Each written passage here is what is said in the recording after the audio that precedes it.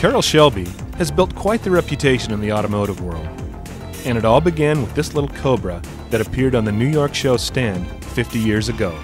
Well, that exact car is here again, accompanied by a new Shelby Mustang that's set to make some history of its own.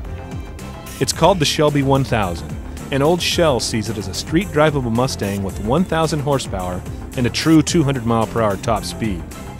A supercharged 5.4 liter Ford Motorsport V8 engine is under hood, sending nearly 1,000 horsepower to an extra strong rear axle with a 9 inch ring gear and fortified wheel studs that won't bend in tough drag strip duty. The Mustang chassis is suitably modified to handle all that power, with massive reinforcements found front and rear, plus a super strong chrome moly front subframe that allows the supercharged V8 engine to be moved back and down to aid balance and help get this mightiest Mustang to turn.